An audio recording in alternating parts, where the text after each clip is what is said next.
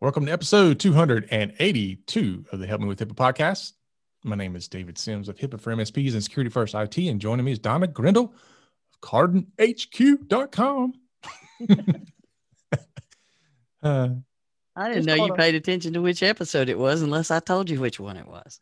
I know. Even though it's on your note. Sometimes I shock you. I know. Just keep me on my toes. Yep. Yep. I hear you. So, uh, how's things going in the Kardon world? Um, I'm like a hamster on a wheel. I keep yeah. thinking I'm going to get to, you know, slow down, but then, you know, the wheel needs to turn some more so that things keep moving. Mm-hmm. Yeah. So we're kind of coming to a close of 2020. I think people are finally realizing that all the problems aren't going to go away on December 31st. yeah, no, everybody's trying to cram it in. Uh, you know, there's half half the people are like, let's just get into 2021. The other people are going like, I just wish 2019 would come back. let's you know, do over. It's kind of like when they, uh, you know, the poor folks up in uh, New York with the big Rockefeller Center tree. You know, yeah. I don't know if you saw the, the unveiling of the tree and uh it, somebody i saw somebody post the video and on brand 2020 or something like that because they stood the tree up and like it, it's a really pitiful tree. It's a pitiful tree and now they're all like quit making fun of the tree but it's like it should be that way. Yeah. It should be that way. You just got to go with that. They they should just put the charlie brown tree out there oh it looks one. like it. It the bottom part of this tree you just got to go find the video and watch them stand that thing up and let go. And it's like, oh my God. Wow. Yeah. I you know, you that. expect this big, beautiful tree and it, it didn't, it didn't, it didn't expose itself like that. It was more like, so I went to I went to the North Carolina mountains uh, this past weekend, and I'm I'm noticing a phenomenon that seems to be happening mostly at restaurants, but it seems that any restaurant that has any figurine type thing sitting outside yeah it has a mask on so all the wooden yeah. Indian, indians had masks the yeah. wooden bears had masks everything everything it's yes. like yeah every little you know statue statuette mm-hmm. had a mask on. I saw somebody, even the elf on the shelf now comes with a mask. And, uh, but you know, get the point across, whatever it takes. Uh, you know, at least the the wooden bear will be. yeah, yeah. I had a lady uh, told me, a lady told me yesterday that um, somebody 20 years younger than her asked her out on a date, and she's like, "These masks are great." Yeah, that's a good one. Uh, I'm gonna have to remember that. I'm wearing a mask. Yeah, it's funny. We um we took a group picture yesterday, and you know, and I was like, "Y'all got some ugly smiles." the, but you go into a, a group setting, and everybody's looking at everybody, going, "Okay, do I recognize this person?" Because you you know, really, the only identifiers you have are the eyes, the hair, and the ears. Yeah. Uh, it's so funny. But uh, anyway, uh, we did, as of today, release the next HIPAA boot camp information. Yeah, it's out on the website. It it it it may not be perfect, but you can register mm-hmm. at the and you say register. Uh, and it takes you to the page, or you can go to helpmewithhipaa.com slash HBC. What's that stand for? That's for those uh, people who can't spell HIPAA properly. Just there you go.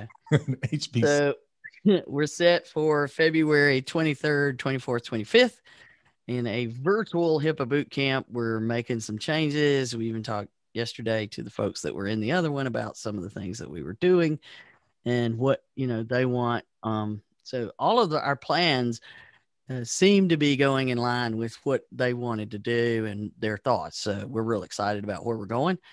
And, uh, you know, I'm always a fan of getting input, all of the things that we built at Kardon, those have all been based on clients saying, I need this. Uh, okay, I'll go build it. And uh, unlike, I think you will need this in the future, hmm. which mm-hmm. is the way it felt when I built it in what 2012. And everybody's like, no, I don't need it. But you do, Blanche. Yeah. yeah, there is that. Yeah. So at least everybody now is starting to realize uh, no matter what uh, in industry you may be in, this cybersecurity stuff is got to be a thing. So anyway, yeah. good news. You know, we're going to move forward and we're looking at doing maybe one other in the fall, maybe in August again um, for 2021. So if you want in, definitely February and uh, you know you can be isolated then, so be perfect. And uh, go to the HIPAA bootcamp. All right. For Good more information, just send us an email because that's what most people do anyway. Hey, will you tell me about that? and we're fine with that. We yeah. All right, then. All right. Well, we're going to jump into um, our topic of the day in just a minute. We're going to talk about information blocking. You know, yes. you brought that up in the last episode, so I guess you felt compelled to talk about it this episode. I said coming soon to an episode near you. And you weren't lying. It was pretty soon. Before we get into the information blocking, we don't want to block the information for our segment of the week, the HIPAA. Say what? All right. so um it, it OCR is on a roll, you know. No, this They're is the 18th case, 18th have, enforcement action in 2020. We have, um, you know, 12 days of Christmas, and now there's the 12 enforcements of Christmas. I must, there'll probably be more though. I do expect there to be more than 12. I know. Uh, uh you know, uh, t- they, they say their point, they're trying to get people to, you know, take it seriously. Yeah.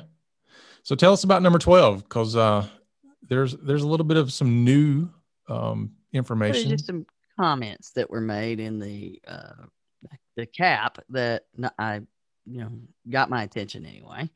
So I wanted to make sure that we all recognize that HIPAA does say these things. Um, I think that we've mentioned uh, about 150 times that you need to get your ducks in a row with patient right of access. Mm-hmm. If you mm-hmm. are a patient, then you need to understand what your rights are.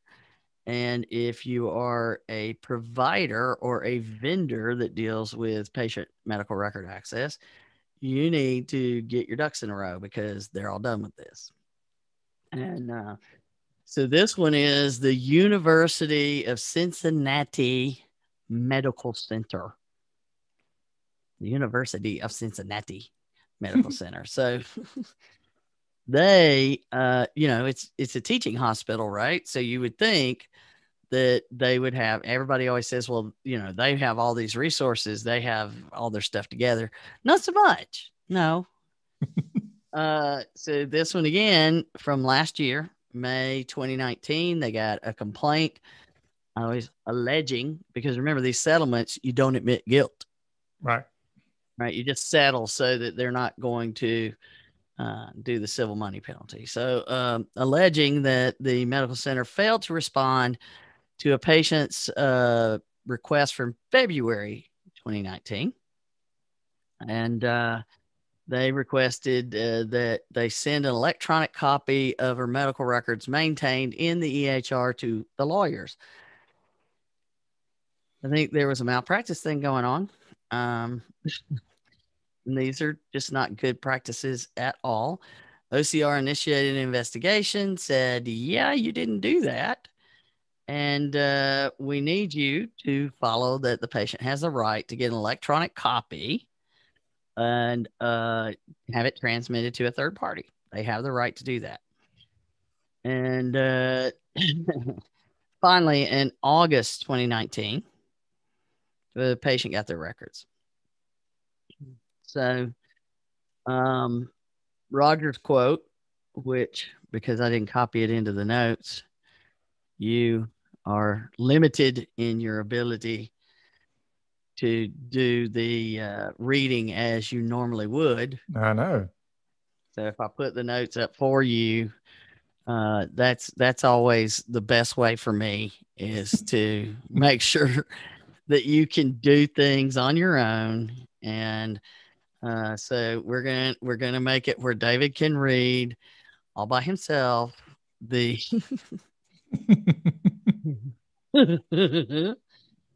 All right. So uh, here you go, David. Can you read that? Oh, wow. Let me move some Yes, windows no. out of the way. All right. So uh, this is uh, Roger Severino's quote. He says OCR is committed to enforcing patients' rights to access their medical records, including the right to direct electronic copies to a third party of their choice. HIPAA covered entities should review their policies and training programs to ensure they know and can fulfill all their HIPAA obligations whenever a patient seeks access to his or her records. and you know, the last time it was like we're going to keep doing this until they get the point. And um, so I'm not quite sure what happened between them getting the records in August 2019 and this uh, settlement being announced, but clearly it was a uh, a moment. Uh, you know, it's been a minute between the times. Mhm. they say. So, uh, obviously, there's a monetary settlement, sixty-five thousand dollars, which is, you know, pretty high for one of these. They're not hitting you hard on the money. They want you on the two-year corrective action plan. Right. That's what we always say. They want you on these corrective action plans. And I find it interesting that, you know, they're coming out and saying it's this big bunch of money, or you can go for the smaller amount of money in a two year corrective action plan where we're going to oversee your program.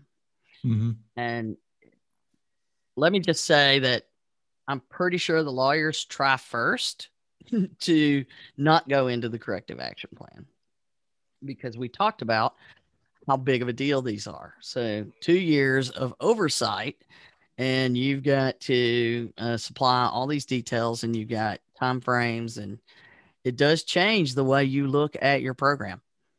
You know what I'm saying? I do. And so their two year corrective action plan, obviously, most of these have focused on making sure that you have the patient right of access details in place and that you're doing uh, the proper written policies and procedures. Hello, not just we will give patients their uh, medical records. How would you do that? and who's responsible for making sure and all those kind of things. So um, these are the things that they'll focus on in the first 30 days is making sure that they have revamped these policies and procedures. They send them in they get approval or they update them accordingly.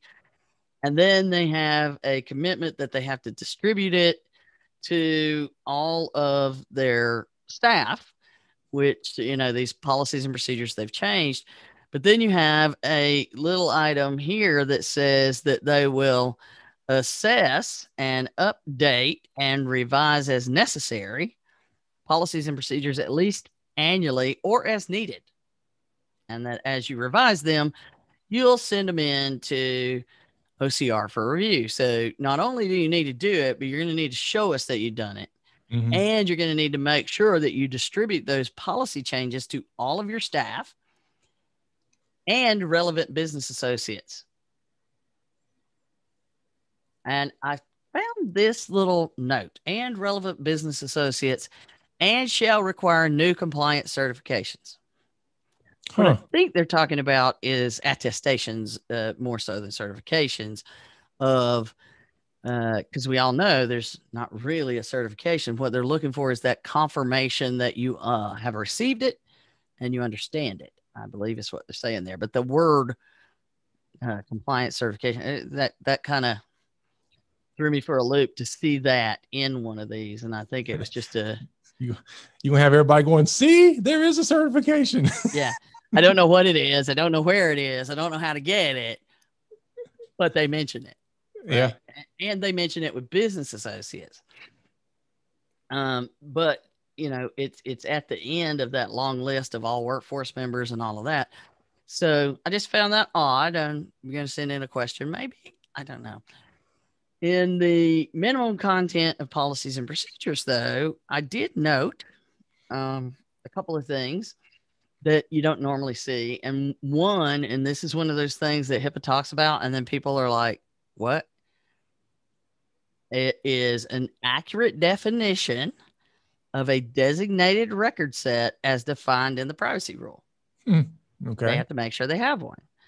And if you go ask somebody, do you have a defined, you know, what is your definition of a designated record set? They're like, the records. uh, no, you know, because everybody keeps different records on file. So you have to define in your environment, you know, what constitutes your designated record set so that they're all accounted for and dealt with. And when a patient asks for their records, your designated record set is what's included. Makes sense. Okay. Most people, if they have the policy, it's from a template that says, you know, we'll define a de- designated record set. And then somewhere it just says, you know, boilerplate kind of language. And uh, so it's a process we go through when we're doing our policy and procedure solution because it's like what you mean you you you don't you don't have a designated record set? They're making it clear here. You should have an accurate definition of a designated record set because that directly relates to making sure that the patient gets access to all of their medical records in the designated record set. Mm-hmm. they're supposed to give it to all of them. And then you have uh, standard procedures for responding to requests for access which okay, that's what we keep telling you you need to have. It's not this person told that person told that person told that person. Everybody follows the same list and checklist and make sure it's followed every time. And you know, we talk about checklists a lot. But for some reason, people, when I say checklist, they think of it as a to-do list. Yeah. You know, and it's not. The to do list item is to give this patient their records. The checklist is to make sure I did that to do item properly. And I, I, I, had a conversation with a friend of mine about why don't you use a checklist? Well, I have all that. But then when I like, okay, my to do item is to post the podcast. But I have a checklist because I do pieces and parts and I get distracted a fly could go by and I have a checklist to make sure I've done all the things. I realized this week I need to update the checklist. I forgot something and it's not on the checklist. But I'm constantly updating my policies and procedures. Thank you very much. Yeah. And that's one of those things that they're saying standardize it and make sure everybody's doing the same thing. And then, of course, the training and the training needs to cover the business associates involved in receiving and fulfilling the request. And I think that's a big gap, huge gap for a ton of people between I hire a business associate to handle this for me and the business associate actually is, you know, understands what the rules are because they signed a BAA, not enough, right? Right. And then they have to have protocols for training that are involved in the maintaining of designated record sets and other PHI. So there's a note there. Designated record set doesn't necessarily mean all PHI, but I think a lot of people see it that way. Mm-hmm. So that kind of loops back around. And then I thought this was kind of interesting. Application of appropriate sanctions against workforce members who fail to comply with policies and procedures. All policies and procedures. Uh, the sanction policy we run into a lot, you know, and we you remember when we talk about that in the boot camp, we talk about the sanction policy and the importance of it. Yeah. And everybody's like, well, everybody knows I shouldn't do it. Okay, but what does your sanction policy say? Well, that you could be fired for violating HIPAA. Yeah, that's not good enough. no, and you want to make it both subjective and objective, Mhm. right? You, you need to make it where there's certain things that you follow this, and then there's some personal decisions that can be made Right. because nobody likes firing anybody.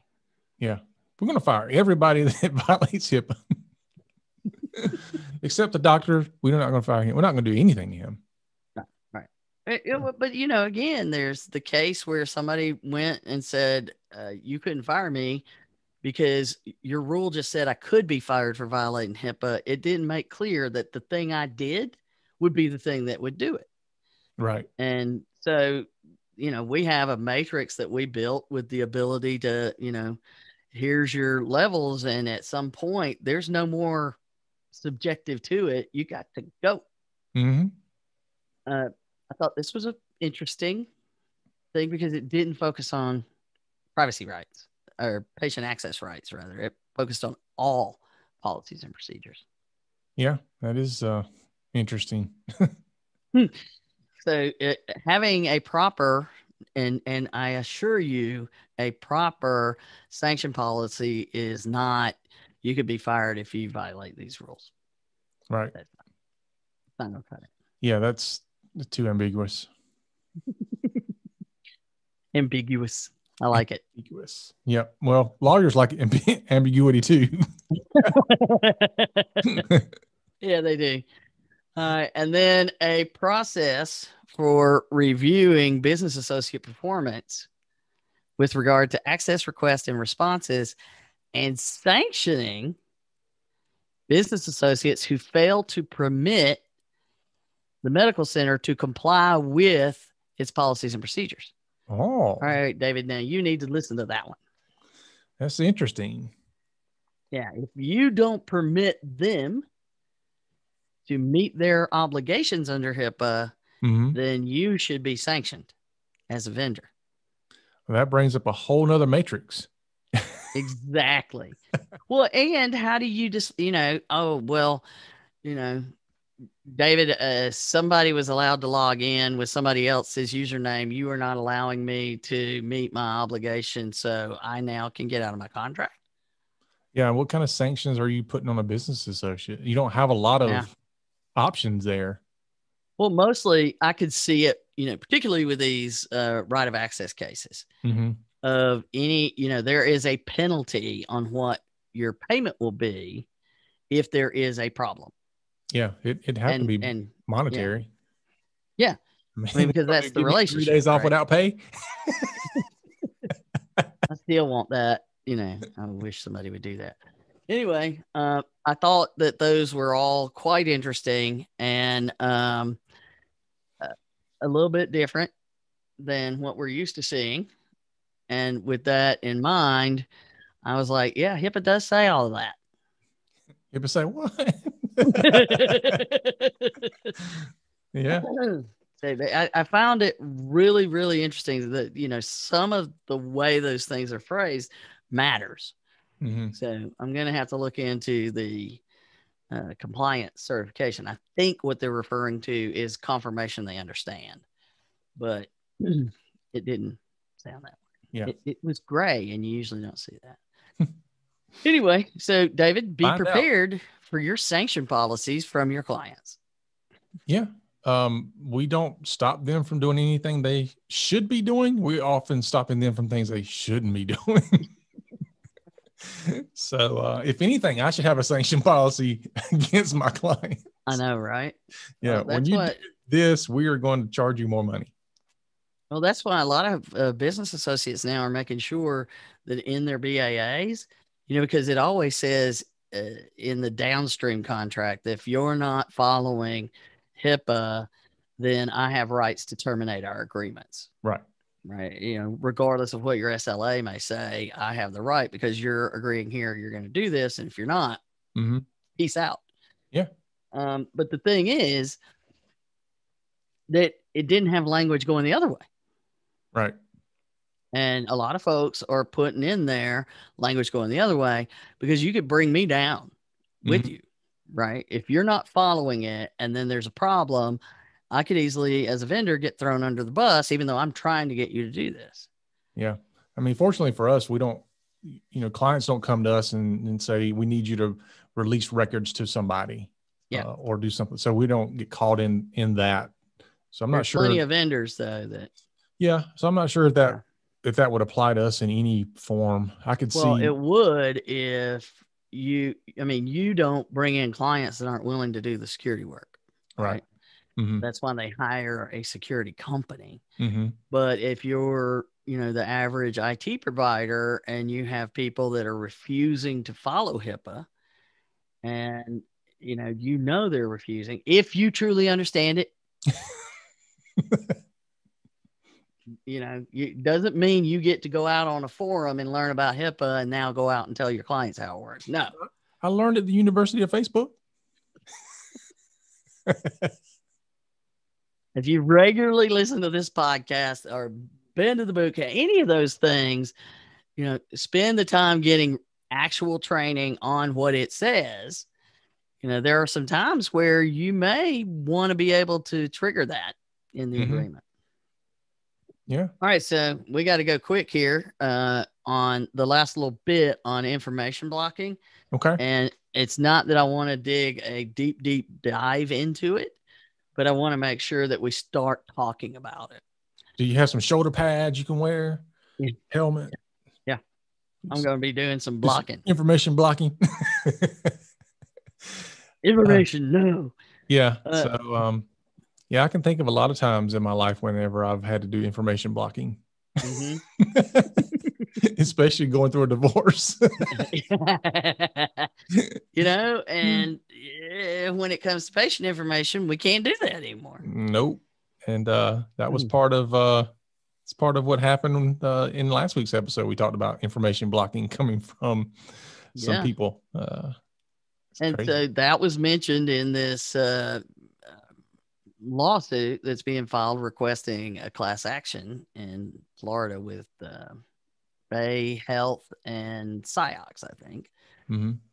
But they mentioned information blocking because that's becoming a thing. And um, I love it that somebody sent a thing uh, to uh, me saying, we want somebody to talk about information blocking, and we figure if anybody knows about it, it's you.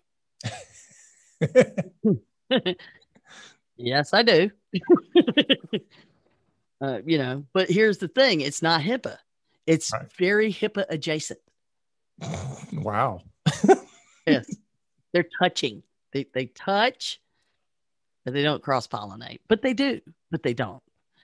Yeah. So here's the thing the 21st Century Cures Act that was signed in December 2016. So this stuff's been going on, it's been slowly building. But the big thing that it was about is promoting innovation, interoperability, those kind of things.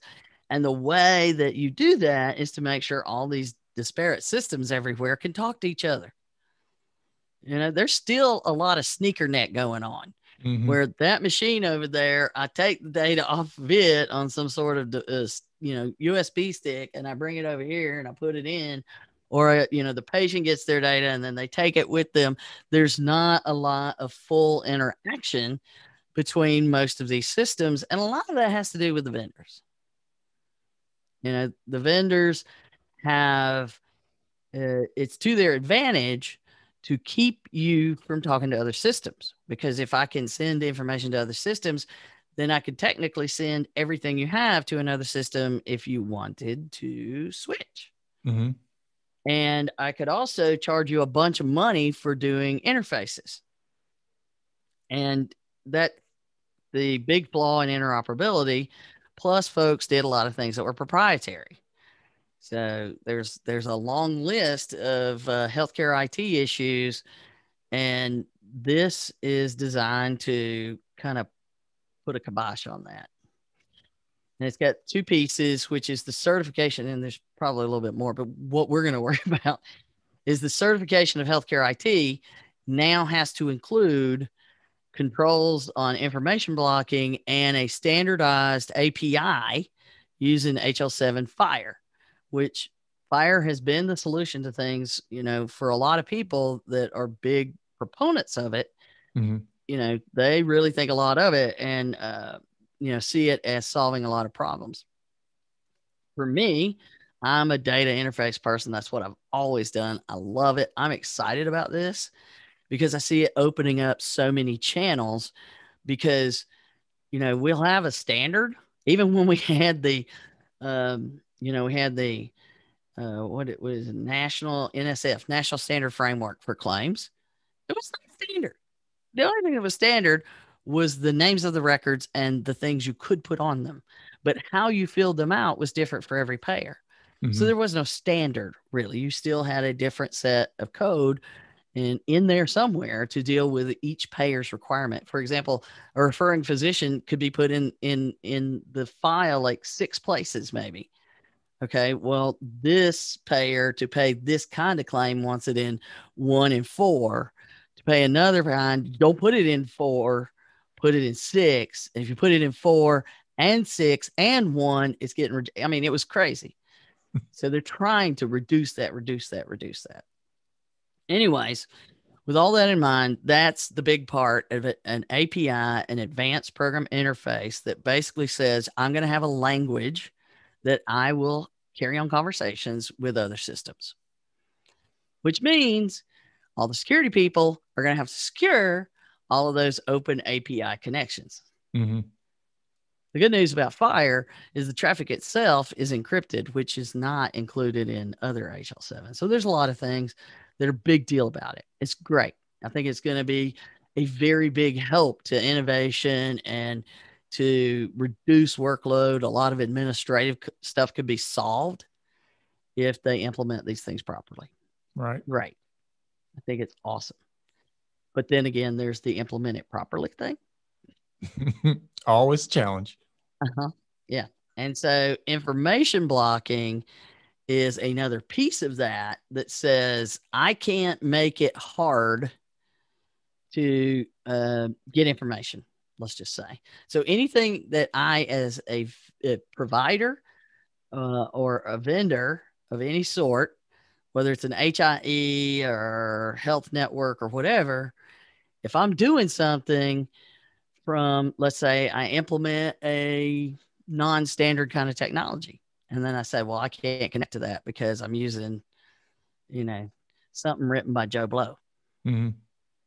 Then that's information blocking. I am purposely not using an industry standard connection, which limits my, my ability to then share information. Or I am making a decision not to give information to people or I'm making a decision to limit my designated record set, or I'm making, it, you know, those kinds of things are information blocking. And if I'm charging more than what would be a reasonable amount, a reasonable profit to do these uh, kind of connections, then that is considered information blocking because I'm making it not cost effective. So there's a long list that gets evaluated on what information blocking is. Technically, it also applies to providers. But there's one big trick here. There are penalties if you're involved in information blocking, up to, you know, the same thing they do with HIPAA, up to a million dollars per violation. Right. Ooh, you know, and then you never see it, you know, charged that way. But um, yes, they they do do the they do do legal maneuvers uh, to you know deal with those numbers, and in that uh, set of uh, you know here's how we're going to enforce it because we all learned with HIPAA, you know, first HIPAA 1.0 nobody enforced it, so yeah, which is why we have. It this is why we have HIPAA Schmippa now. I know, right? Nobody enforced it, you know. So, and that's why it got the way it is. And HIPAA 2.0, people started to get the idea that was going to be enforced. We're on HIPAA 3.0 now. Mm-hmm. It is being enforced down to very specific issues. And uh, so, but here's the thing is that this is, again, this is not, this is the HIPAA adjacent thing, meaning the patient right of access, which we've been talking about I can't block patients' ability to share that information, get access to that information, have electronic copies of that information. Okay. But primarily, you know, a lot of the vendors are like angry at the providers because they're not doing this. The providers really have no control on how their systems can work. Right. The vast majority of them either they can't afford these super expensive connections for doing this one thing that won't say, you know, they won't get any kind of ROI on it for 10 years. It's just not making sense for them to do that. So the vendors having to participate in this program to have a certified healthcare IT product anymore is huge. So we've got the uh, serious need, but here's the kicker is that if there is a violation, it is uh, or a complaint filed uh, for anybody that uh, supposedly is doing information blocking, the complaint is investigated by HHS OIG, the Office of Inspector General, not OCR. Two different offices. Mm-hmm. I don't know if they're adjacent. right across the hall. well, nobody is anymore, right? Yeah. But um, so the way it works though is OIG has the legal authority to enforce information blocking rules and API rules on the vendors and the HIEs and all, but they don't have it on providers. If they have a issue and they feel that there is a provider violating information blocking rules, they refer that to HHS to the secretary who is going to determine appropriate disincentives. okay. Haven't really seen a good definition of a disincentive. So, really and truly, you know, if a, a provider is doing what they're supposed to be doing under patient right of access, if you're doing what you're supposed to be doing, then as far as you're concerned, that information blocking rule shouldn't be a big concern. What should be a big concern is to make sure your vendors are taking action right now. Not we're gonna, but they're doing it now because technically it was supposed to come, it was supposed to, uh, in the law, written that it became effective November 2nd, 2020. And oh. as you know, on brand for 2020, that got moved out. Yep. So April 5th, 2021, this is when it's all supposed to come into play. But there's a, you know, an, an extended all the way out through 2023 implementation of all this stuff. So there's the important things for you to know. Any questions, David? Um, no questions. I do think we're going to hear even more about it as we move into 21 all the way through 23 because you know most people are going to wait until January of 2023. yeah. And just know there's like eight different exceptions to the information blocking rule. This gets you, there's a deep dive that there's tons of things that are considered exceptions because why not? Yeah. You know, there's exceptions. Just there's always exceptions. Yeah. So interesting. Interesting that it's so prolific that they must address it with the adjacent hippiness.